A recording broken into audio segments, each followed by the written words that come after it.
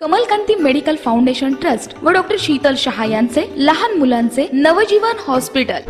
Superfast बातम्या पाहण्यासाठी yes prime न्यूजला सबस्क्राईब करा आणि बेल आयकॉनवर प्रेस करा. मागील तीन महिन्यापूर्वी पंढरपुरातील संत गजानन महाराज मठामागील लक्ष्मी नगर झोपडपट्टीमध्ये राहणाऱ्या प्रभावती कदम या सावत्र आईची निर्गुण हत्या दस्तुरखुद्द मुलानेच केली होती. संजा उर्फ भोल्या कदम याने नगरपालिकेची जागा असणाऱ्या घरासाठी धारधार शस्त्राने आपल्या सावत्र आईची हत्या केल्याचे उघडकीस आले होते. या घटनेनंतर संजा उर्फ भोल्या हा फरार झाला होता. वास्तविक हा आरोपी दारू गांजाच्या व्यसनाधीन असल्याने याचा नक्की ठाव ठिकाणा लागत नव्हता. तर तो मोबाईल देखील वापरत नसल्याने पोलिसांना त्याला पकडणे एक मोठे आव्हानच बनले होते. परंतु पंढरपूर शहर पोलीस स्टेशनचे कर्तव्य दक्ष इन्स्पेक्टर राजेंद्र गाडेकर यांनी मागील अनेक दिवसापासून पाळत ठेवली आणि आपल्या खबऱ्यामार्फत त्याला ट्रेस केले.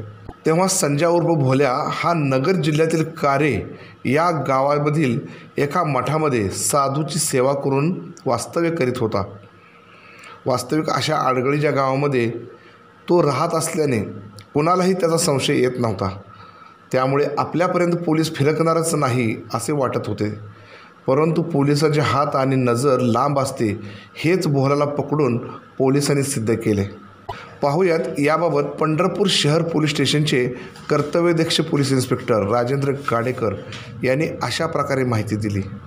शहर पोलीस स्टेशनमध्ये एक साधारण तीन महिन्यापूर्वी खुनाचा गुन्हा दाखल झाला होता. ज्याच्यामध्ये एका मुलाने सावत्र मुलाने आपल्या आईचा खून केला होता. खुनाचा मूळ मुद्दा प्रॉपर्टी आणि वडील आजारपणात गेले याचा राग होता त्या मुलाला मनामध्ये.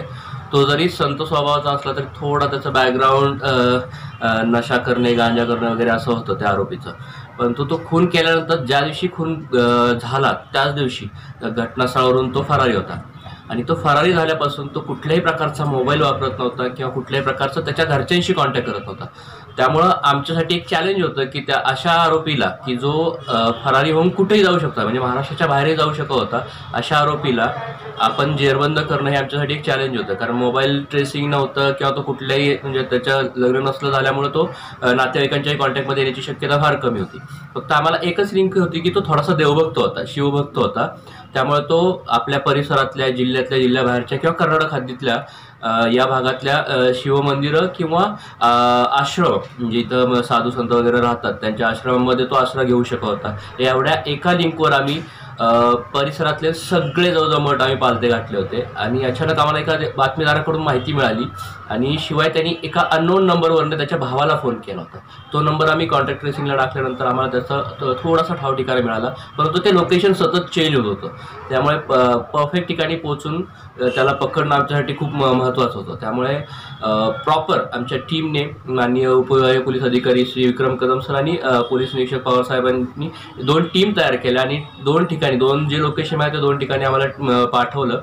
आणि तो नगर जिल्ह्यातल्या कारे म्हणून गाव आहे पाथर्डी तालुक्यातलं. तिथे एका साधूंच्या सेवेत म्हणून संत म्हणून राहत होता. आणि तिथं त्याला गेल्यानंतर असं कोणी म्हणणार नाही की तो खून करून फरायला एवढा संत पद्धतीने तो राहत होता. आणि अशा आरोपीला आम्ही त्या आश्रमातून ताब्यात घेतलेलं आहे. आणि त्याला कोर्टात हजर केल्यानंतर साधारण एक तीन दिवस पी सी मिळालेली आहे. पुढील तपास A P I Dashrath Waghmode करत आहे.